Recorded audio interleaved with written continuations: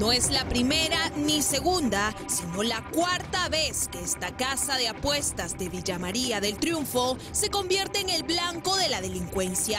El último asalto se registró el martes a las 7 y 33 de la noche, cuando este delincuente ingresa al local Sportium, aprovechando que la trabajadora se encontraba sola. La joven, al darse cuenta que se trataba de un nuevo robo, esconde rápidamente su celular como si estuviera preparada.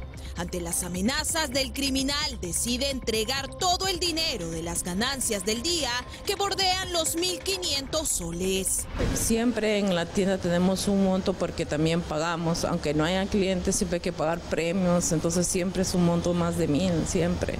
Que no es un día, que es hace 15 días, entonces ya.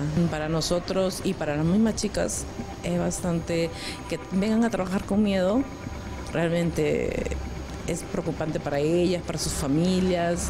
Lo que indigna aún más a estos trabajadores no es solo la pérdida de dinero, sino que la policía, pese a tener acceso a esta cámara de seguridad interconectada con la comisaría, no actuó ante este robo que los ha obligado a pensar en cerrar su local. Nosotros ya hemos hecho todo lo posible. Hicimos la cámara, nos sugirió la policía poner la cámara. Es una inversión de parte de la empresa para que pueda haber una actividad rápida acción.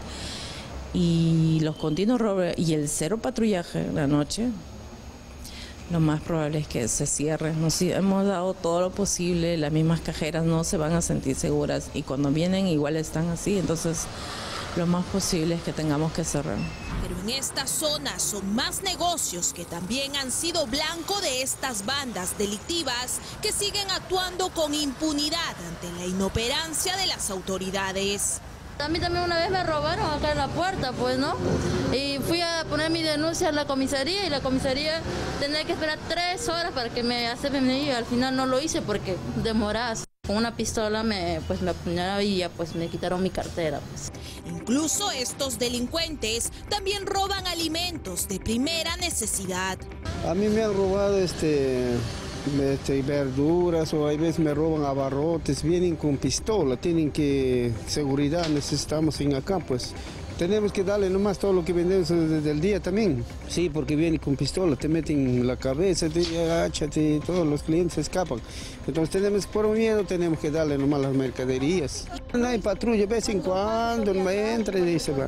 ¿Sí han pensado tal vez en atender a puertas cerradas? Sí, puertas cerradas, sí, por eso hay veces temprano nomás nos vamos, a las 8, es nomás a las 6, 5 nomás trabajamos porque hay veces silencio y a la calle. Ahora esperan que ante sus denuncias la policía y Serenazgo acuda a la zona para atender sus reclamos.